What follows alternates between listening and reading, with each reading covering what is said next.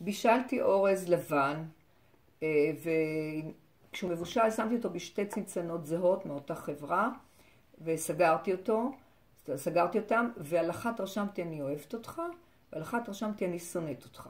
אז הוא שאמרתי אני אוהבת אותך, גם אה, אמרתי לו אה, כמה אתה חמוד, כמה אתה מתוק, כמה שאתה רצוי, וזה שם אני שונאת אותך, אמרתי אתה מאכזב, אתה לא רצוי, אתה דחוי. והנחתי את זה על מדף במרחק כזה, אחד מהשני, למשך שבועיים. אחר כך, אחרי שבועיים וחצי חזרתי, וזאת התוצאה שאני ראיתי לתדהמתי הרבה. על אחד האורז נשאר שלם ומלא, ועל השני האורז בהתחלה היה שחור, ירוק, ולאט לאט הוא הופך למין תמהיל בלתי ברור.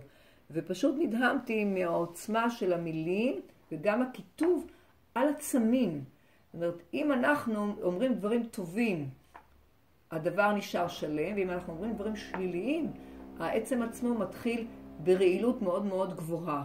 ואם זה על עצמים, אז על אחת כמה וכמה כשאנחנו אומרים את המחשבות האלה על עצמנו, ועוד יותר כמה זה פוגע כשאנחנו אומרים את זה לאחרים.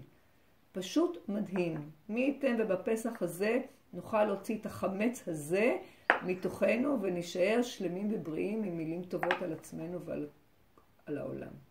חג שמח.